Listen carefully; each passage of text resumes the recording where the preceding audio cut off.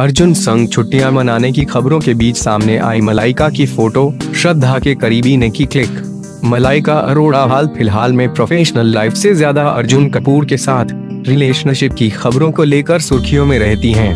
हाल ही में दोनों को एयरपोर्ट पर करीबन एक जैसे लुक में देखा गया था, जिसके बाद से ये कयास लगाए जा रहे थे कि दोनों वैकेशन के लिए गए हैं। ऐसे में मलाइका की एक फ़ोटो सोशल मीडिया पर सामने आई है। दरअसल मलाइका अरोड़ा ने इंस्टाग्राम पर एक फ़ोटो शेयर की है।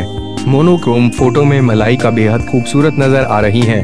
बता दें कि ये फ़ोटो मालदीव का है। ऐसे में या तो मलाइका फिर से मालदीव गई हैं या फिर ये थ्रोबैक फ़ोटो है।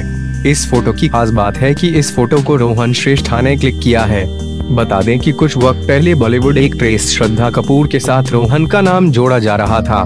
गौरतलब है कि मलाइका, अरोड़ा, अर्जुन कपूर के साथ रिलेशनशिप में रहने को लेकर काफ़ी सुर्खियों में रहती हैं।